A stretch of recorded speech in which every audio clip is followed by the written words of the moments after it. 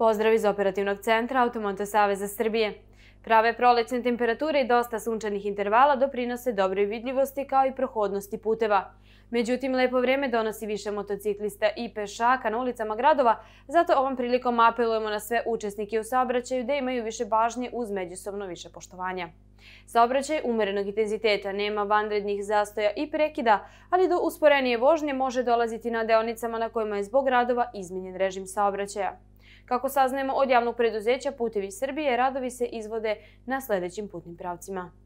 Danas i sutra u periodu od 8 do 16 časova izvodit će se istražni radovi za potrebe rehabilitacije autoputa na deonici Petlja Beograd, Petlja Aerodrom u smeru ka Beogradu.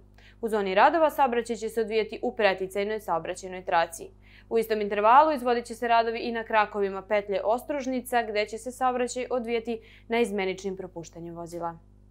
Obustavljanje saobraćaja na regionalnom putu Stara Pazova Golubinci zbog radova na izgradnji nadvožnjaka u zoni postojećeg putnog prelaza i delu ulice Čirile i Metodija. Do završetka radova obilozni put vodi od Stare Pazove preko Indije do mesta Putinci a zbog klizišta koje je oštetilo deo saobraćene trake magistralnog puta od Batočine ka Kragujevcu na delu kod Nikšićkog brda, saobraćaj se u dužini od kilometar i po odvija dvosmerno suprotnim smerom, onom koji vodi ka Batočini uz ograničenu brzinu od 60 km na čas. Prema poslednjim podacima, uprave granične policije nema zadržavanja na putničkim terminalima, dok se na teretnim terminalima vozila na izlazu iz zemlje povremeno zadržavaju duže ka Mađarskoj i Hrvatskoj.